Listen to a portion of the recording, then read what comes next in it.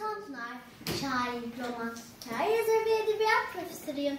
Bana saatleri ayarlarından diyebilirsiniz. Çünkü zamana bir ait çok büyük bir ilgim vardı. Eserlerimde de bunlara büyük bir yer verdim. 1901 yılında İstanbul'da dünyaya geldim. Ailemin üçüncü çocuğuyum. Babam Kadı Hüseyin Fikri Efendi. Aslen Batumlu, güçlü bir aileden geliyor. Babamın kadılık mesleğinden dolayı Diyarbakır, Sinop, Antalya gibi şehirlerde yaşadık.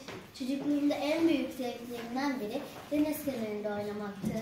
Dalgaların girişini izlemekten büyük bir zevk alırdım. Yazları çok sıcak olduğunda damlarda yatardık. O zamanlar yıldızları çok severdim.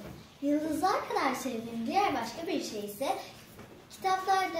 Kitaplar, kitapları okuyup yeni bilgileri öğrenmekten büyük bir zevk alırdım. Antalya'ya yerleştiğimizde kitaplarla daha çok zaman ayırdım.